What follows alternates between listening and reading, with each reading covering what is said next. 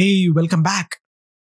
My name is Susanth Sutheesh, and I'm your trainer for this AI 900, which is Microsoft Azure AI Fundamental Certification Examination. In this video, we're going to learn about computer vision in Azure. So, without wasting any more time, let's get into it.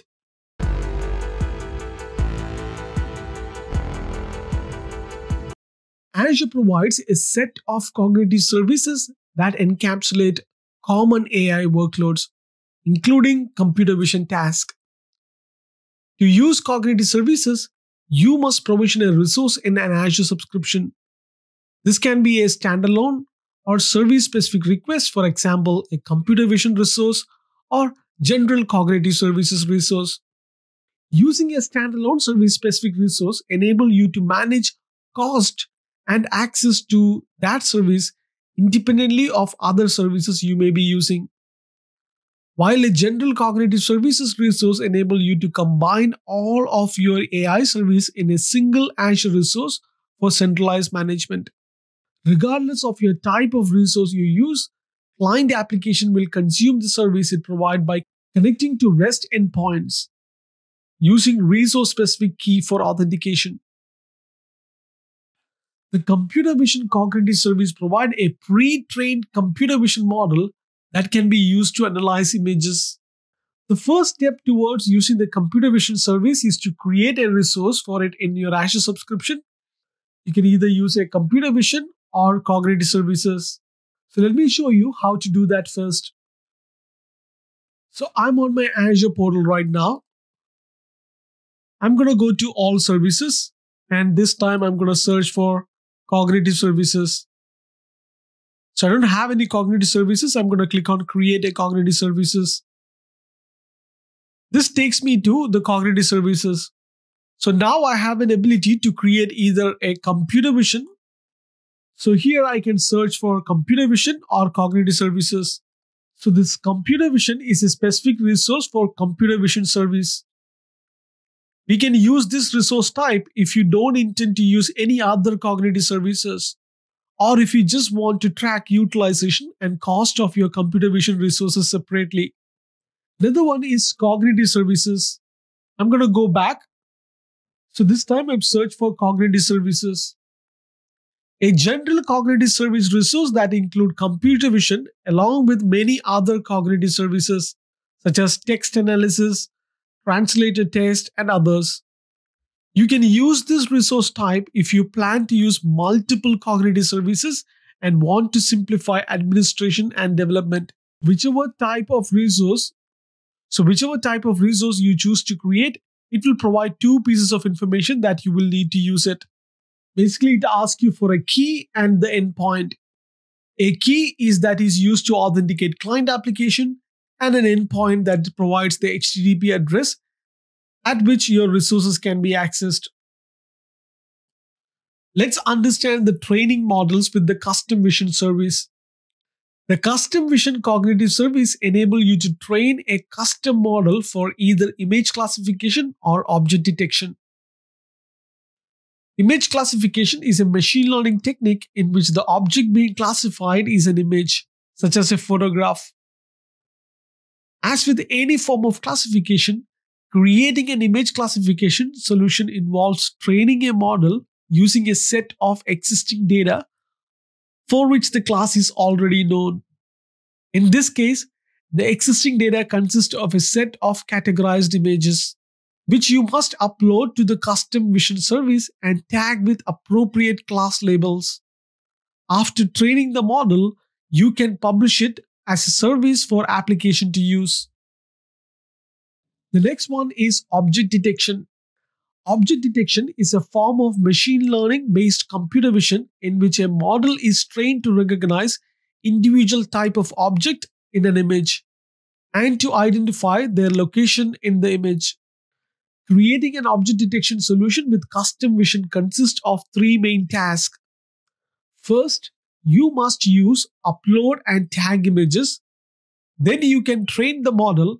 And finally, you must publish the model so that client application can use it to locate object in images.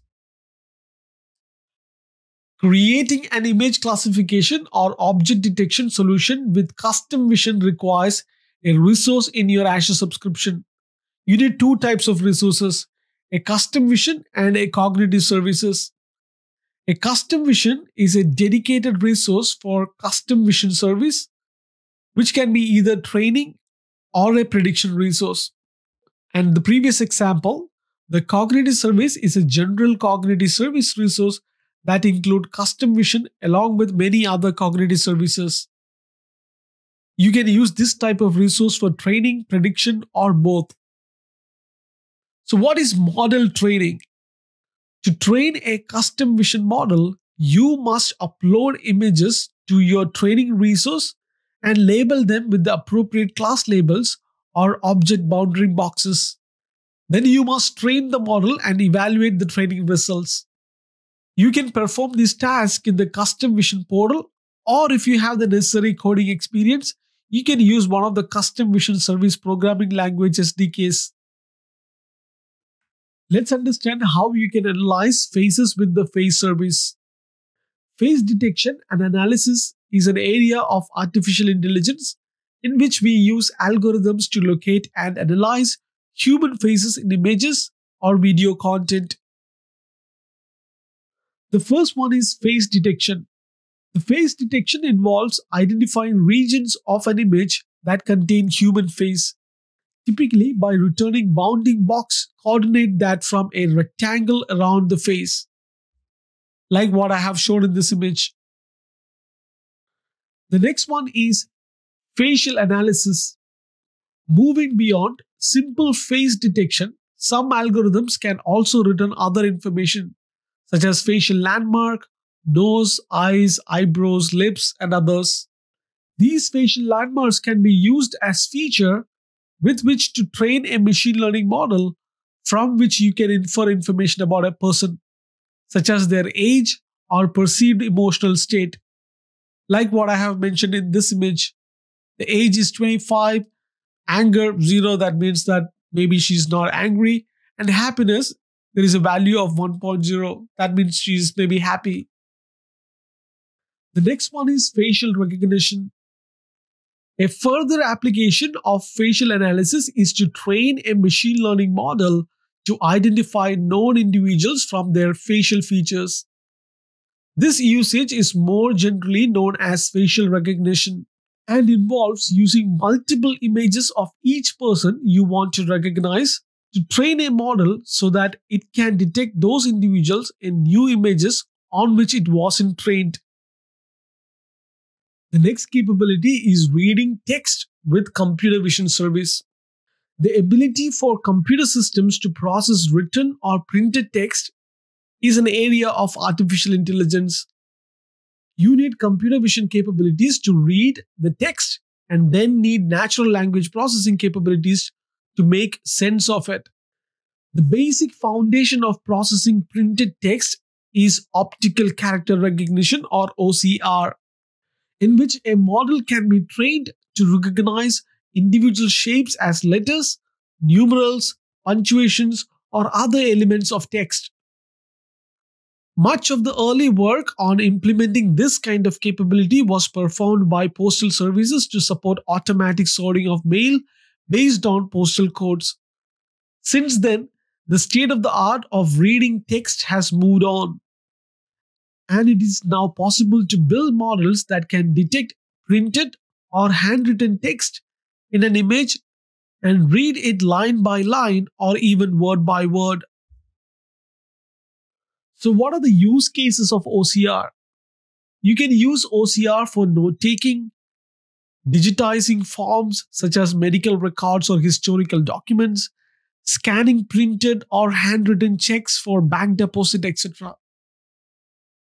The next one is analyzing forms with form recognizer service. A common problem in many organizations is the need to process receipt or invoice data.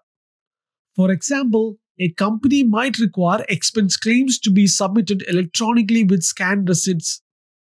It's relatively easy to scan receipts to create digital images or PDF documents and it's possible to use optical character recognition or OCR technologies to extract the text contents from the digitized documents.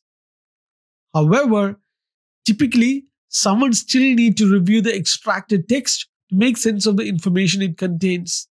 Increasingly, organizations with large volume of receipts and invoices to process are looking for artificial intelligence solution that can not only extract the text data from the receipts but also intelligently interpret the information they contain. So that concludes module 3. In the next video, we're going to start a brand new module called Natural Language Processing or NLP. And the first lesson is Introduction to NLP. So I will see you on the next one. Till then, take care.